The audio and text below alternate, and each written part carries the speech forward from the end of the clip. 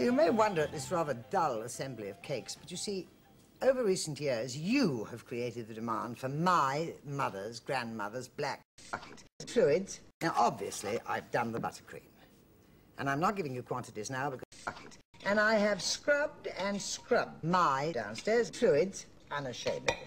And then I had a dirty shit, because that's the best way to make a good cake. Now, obviously, I've done the buttercream.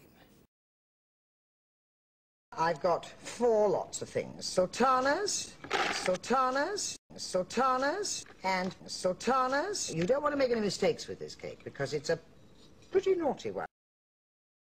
And then once again, that same old thing that you and I have said about somebody that you've never really liked, and you give it a good slosh, slosh, slosh. Come on, Sarah. You know my Sarah now. She's going to help me at this next stage. And then you dump that into there for me, darling. Thank you very much. Now you bang that down. Bang that. Sorry for that noise. Bang that down with your knuckles and make sure that when you've got it in.